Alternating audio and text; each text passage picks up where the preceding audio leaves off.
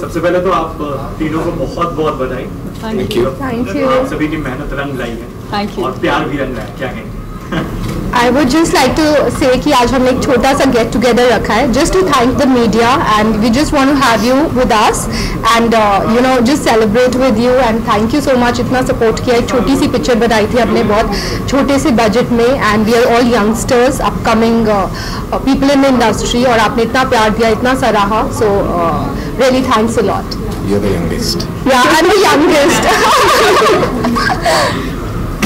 पुलकित क्या कहना चाहेंगे? दर्शकों का इतना प्यार मिला है आपकी फ़िल्म को।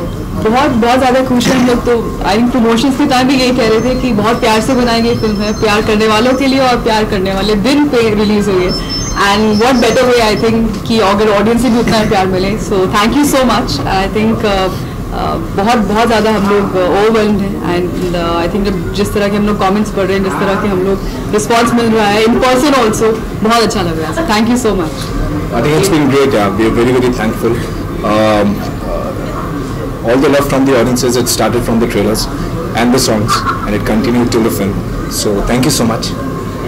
तीनों बहुत ही खूबसूरत लग रहे हैं लेकिन पुलकित और यामी क्या ये पहले से डिसाइडेड था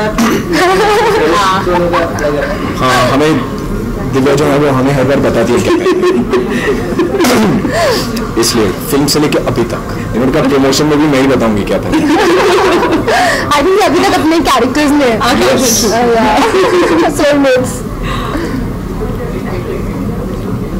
For more news and gossip, don't forget to subscribe to Bollywood Helpline.